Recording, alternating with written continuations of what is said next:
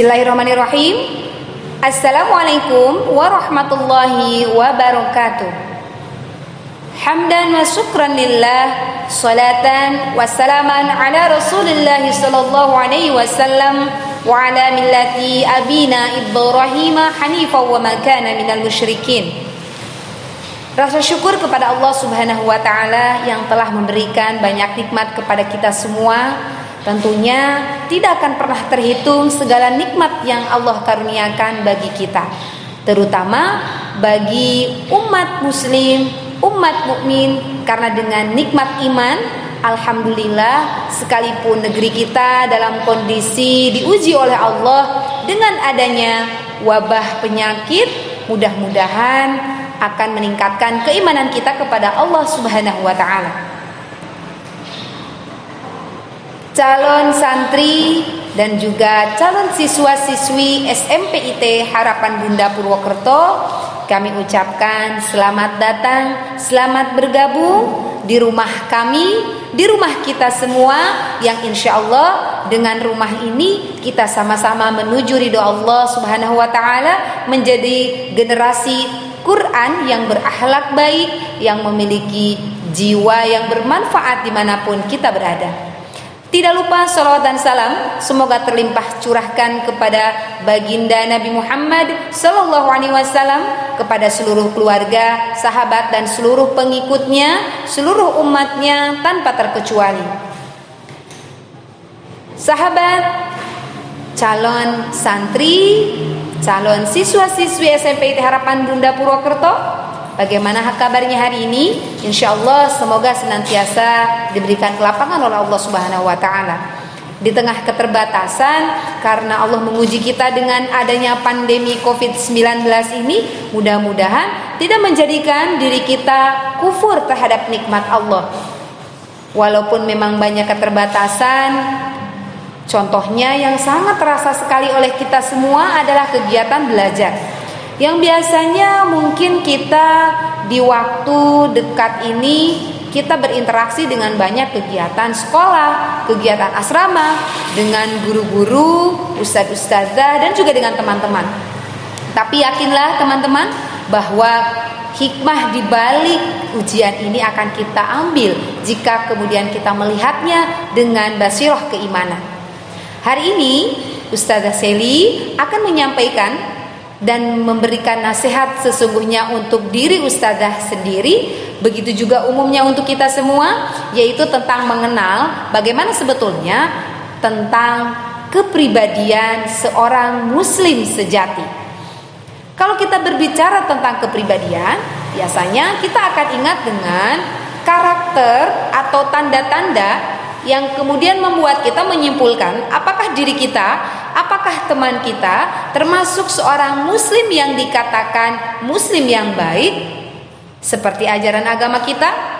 Tentunya potret yang paling mudah, potret yang paling dekat dengan kita melihat siapakah muslim terbaik itu adalah Nabi Muhammad wasallam.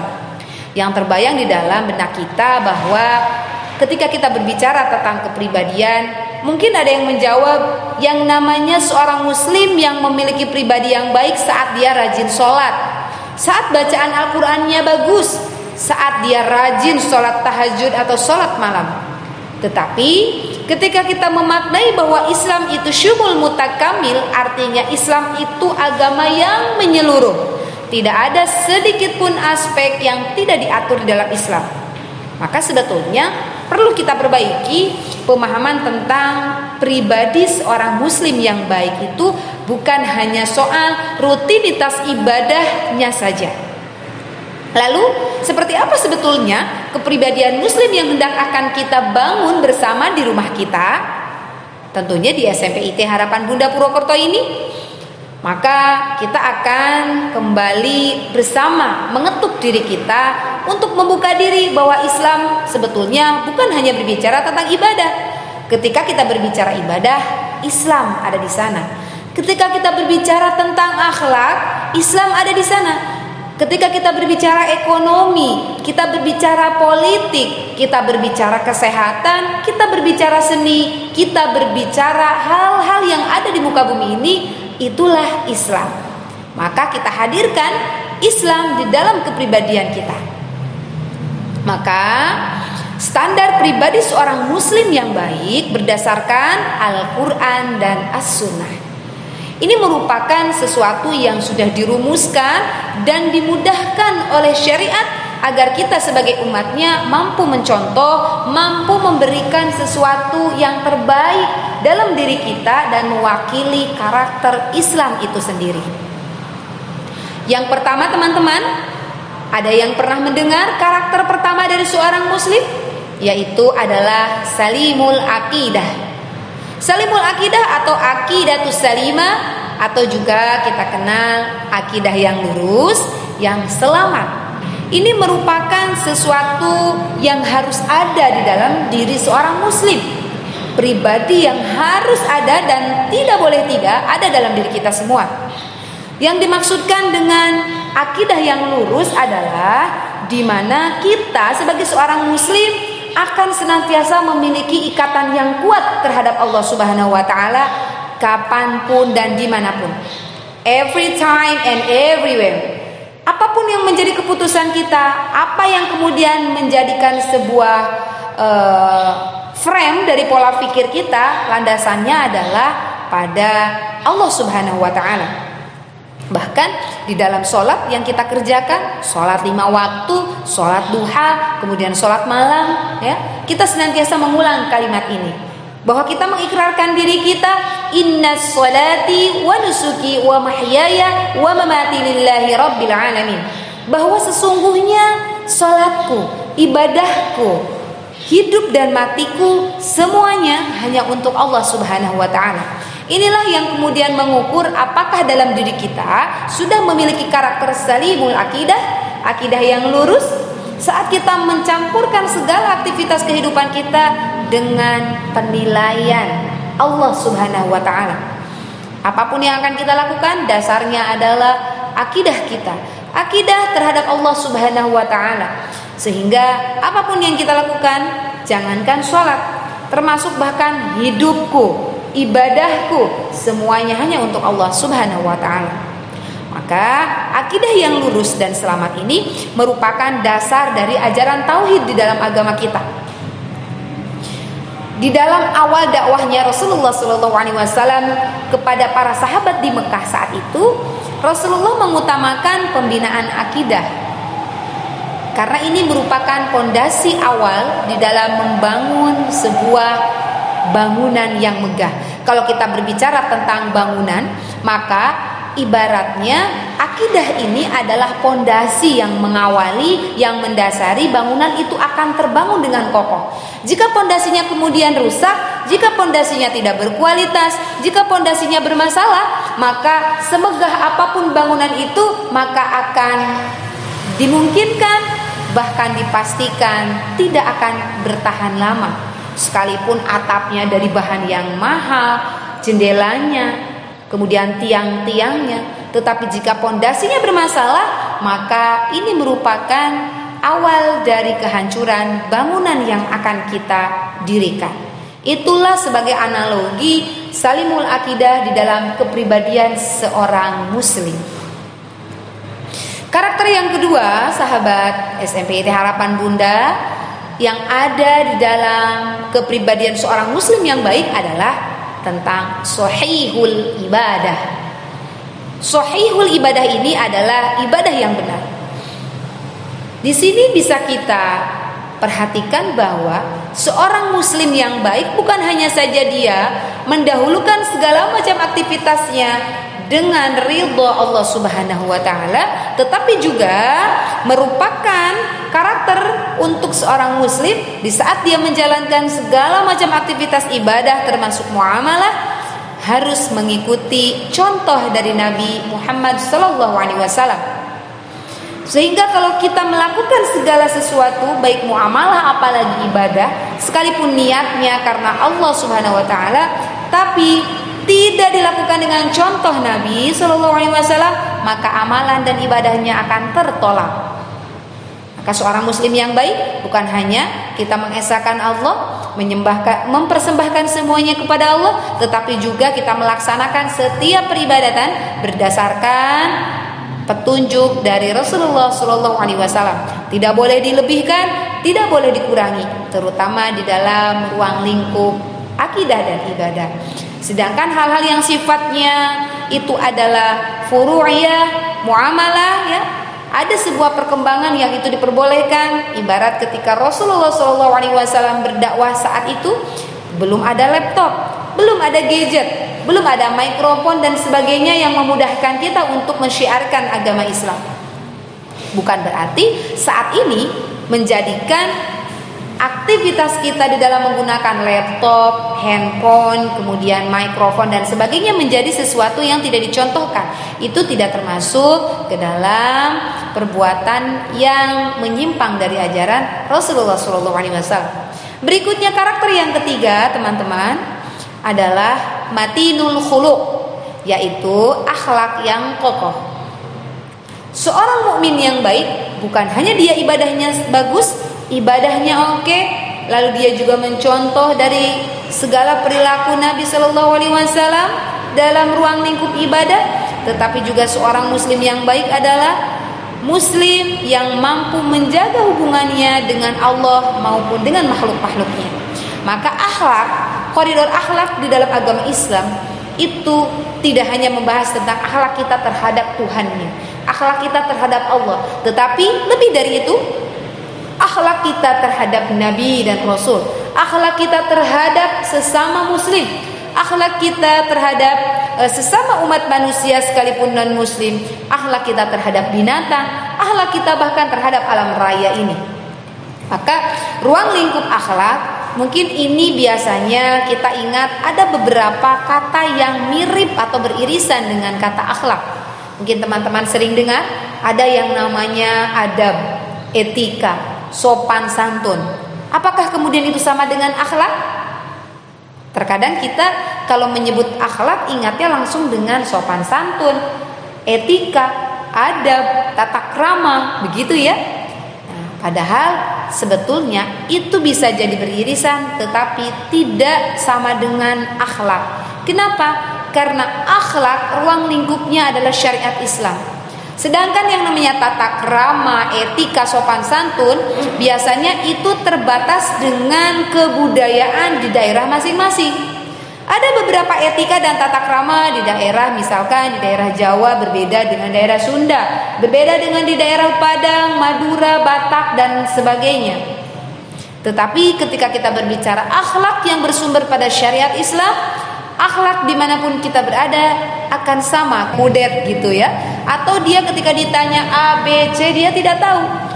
Walaupun sebetulnya dia rajin ibadahnya dia pintar ngajinya. Tetapi sebetulnya di dalam agama Islam ya e, salah satu sifat Rasulullah Shallallahu Alaihi Wasallam adalah fatonah cerdas. Maka Al-Quran juga banyak mengungkapkan ayat-ayat yang merangsang manusia untuk berpikir dan bahkan hadis-hadis Nabi Shallallahu Alaihi Wasallam memerintahkan kita untuk menuntut ilmu dan itu wajib hukumnya bagi setiap umat muslim. Nah, ini menunjukkan bahwa seorang muslim yang baik, seorang muslim yang memiliki karakter sejati bukan hanya dia pandai ngaji, rajin ibadah, dia dekat dengan Tuhannya, tetapi juga dia memiliki wawasan yang luas sehingga segala eh, elemen-elemen di dalam kehidupan kita baik dalam sektor ekonomi, pendidikan, agama, budaya semuanya kita isi dengan seorang yang memiliki kepribadian muslim yang baik. Maka insya Allah negeri kita akan menjadi baldatun thayyibatun warabun ghafur. Jadi bukan hanya sebagai anak yang solih secara kapasitas ibadah saja teman-teman, tetapi kita pintar, kita cerdas dan mampu bersaing dengan pemuda-pemuda di belahan dunia sana. Oleh karena itu, Allah kemudian bahkan mempertanyakan kepada kita tentang tingkatan intelektualitas seseorang. Di dalam firman-Nya, ini teman-teman bisa lihat di Quran surat Az-Zumar ayat ke-9. Allah menyampaikan di dalam surat Az-Zumar bahwa samakah orang yang mengetahui dan orang yang tidak mengetahui? Artinya di sini Allah membedakan orang yang beriman dengan yang berilmu ya dengan orang yang beriman tapi dia tidak memiliki ilmu. Maka beruntunglah kita semua diberikan kesempatan oleh Allah Subhanahu wa taala bisa bergabung di keluarga besar SMP IT Harapan Bunda salah satunya dalam rangka memperkaya wawasan kita sebagai seorang muslim yang baik. Kemudian karakter yang kelima adalah qawiyul jismi. Jasmani yang kuat. Ternyata ini penting sekali teman-teman. Seorang muslim yang baik, rajin sholatnya, rajin ibadahnya, tetapi dia sering sakit-sakitan, nah ini merupakan evaluasi. Kenapa? Karena di dalam hadis riwayat Muslim, Rasulullah SAW menyampaikan seorang Muslim yang baik, seorang mukmin yang kuat itu lebih aku cintai kata Rasulullah daripada mukmin yang lemah. Nah, maka ini harus menjadi sebuah motivasi. Karena seseorang yang memiliki daya tahan tubuh yang baik, dia akan mampu mengamalkan ajaran Islam dengan maksimal. Beberapa ajaran Islam dapat diamalkan dengan kekuatan fisik. Contohnya, sholat. Jika fisik kita bermasalah, maka sholat kita menjadi tidak sempurna. Yang biasanya kita berdiri menjadi duduk, bahkan mungkin tidur. Puasa, puasa juga merupakan salah satu ibadah fisik. Kemudian haji, Haji merupakan salah satu ibadah fisik.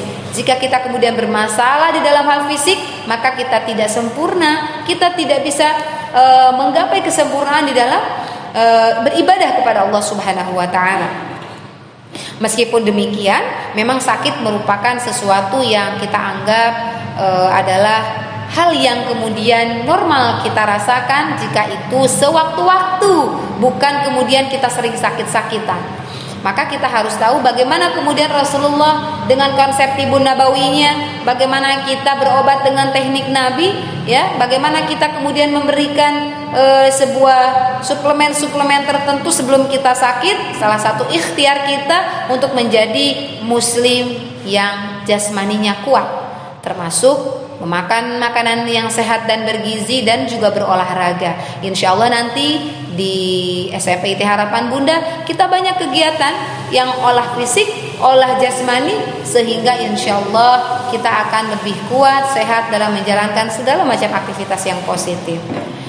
Teman-teman yang dirahmati Allah, untuk karakter yang keenam dari seorang muslim yang baik, muslim sejati adalah mujahadatul linafsih yaitu berjuang melawan hawa nafsu.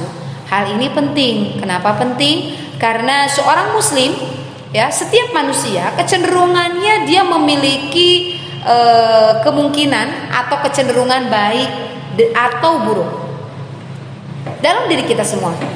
Melaksanakan kecenderungan pada yang baik dan menghindari pada yang buruk. Nah, ini tentunya memerlukan sebuah kesungguhan. Tidak bisa kemudian kita memilihnya dengan katakan berleha-leha tanpa adanya sebuah kesungguhan. Kesungguhan itu akan ada di saat kita berjuang di dalam lawan hawa nafsu. Karena kesungguhan itu rivalnya atau lawannya adalah hawa nafsu.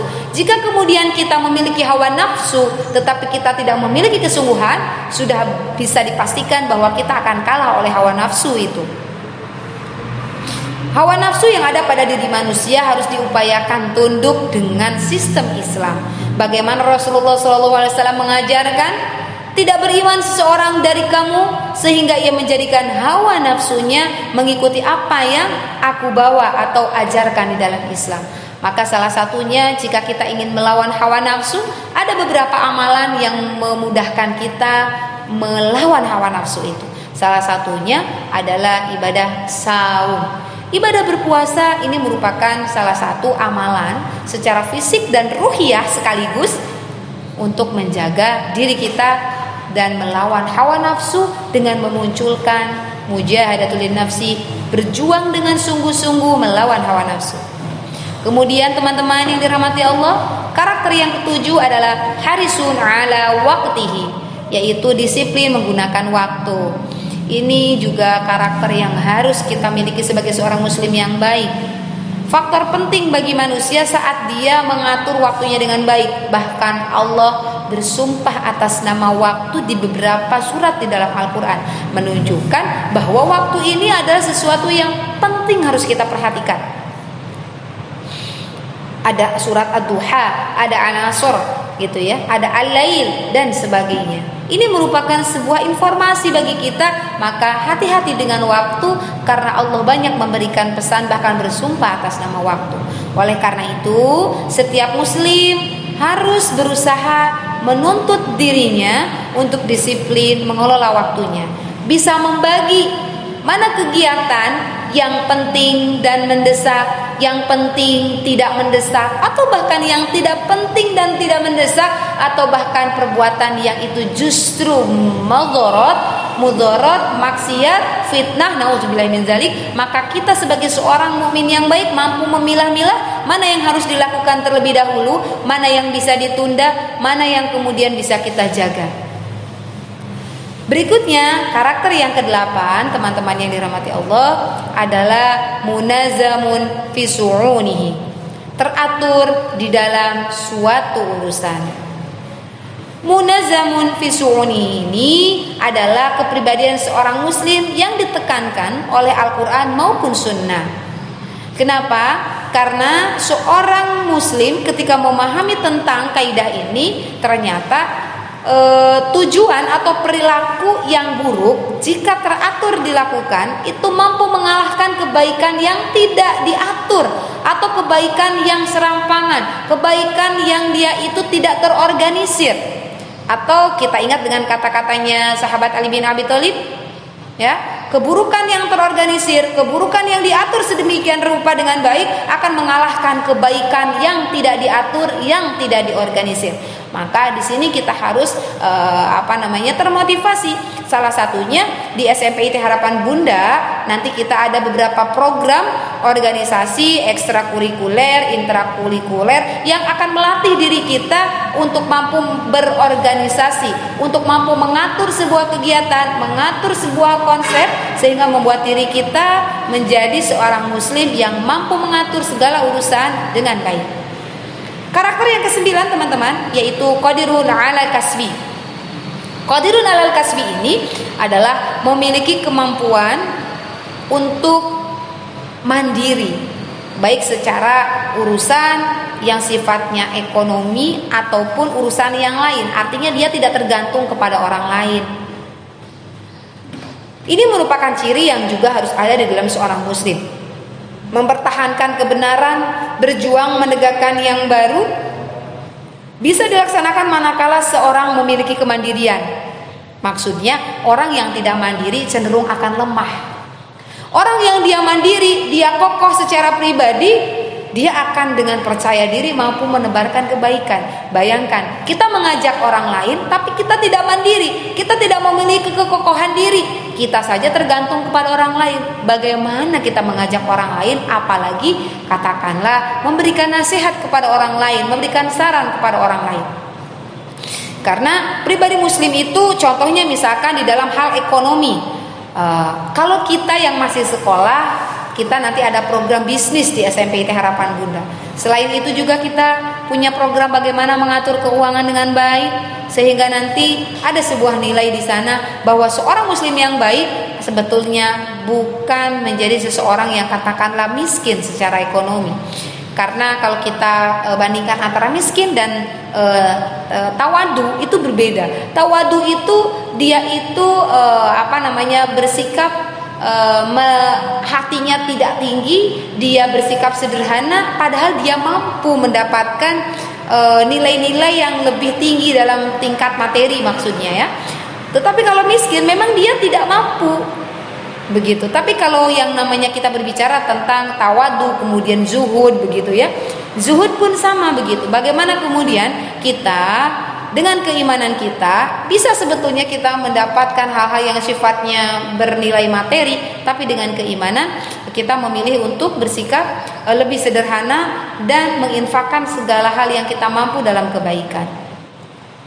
Oleh karena itu ya setiap perintah mencari nafkah ya amat banyak di dalam Al-Quran maupun hadis ya keutamaannya sangat tinggi karena kemandirian di sini adalah berbicara tentang masalah kemandirian ekonomi kita maka teman-teman walaupun masih dalam uh, status siswa belum memiliki penghasilan Salah satunya adalah mengatur keuangan dengan baik, lalu ada program bisnis nanti di SMP, maksimalkan program itu sehingga teman-teman mampu belajar bagaimana cara menjadi seorang muslim yang mandiri secara ekonomi.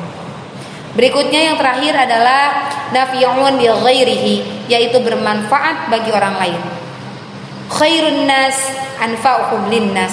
Sebaik-baik manusia adalah yang paling bermanfaat bagi orang lain.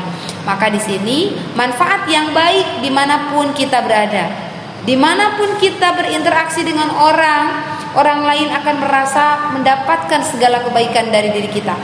Alhamdulillah, demikian sudah kita simak bersama dan menjadi motivasi untuk diri kita 10 karakter tadi yang sudah kita bahas Semoga Allah mudahkan dan lapangkan diri kita memiliki 10 karakter mulai dari akidah yang selamat, akidah yang lurus sampai kemudian kita menjadi pribadi yang bermanfaat bagi orang sekitar. Teman-teman, sekali lagi selamat bergabung di rumah kita semua SMP IT Harapan Bunda Purwokerto. Semoga Allah melapangkan segala niat kita dan mencabut, mengangkat segala macam musibah dari negeri kita.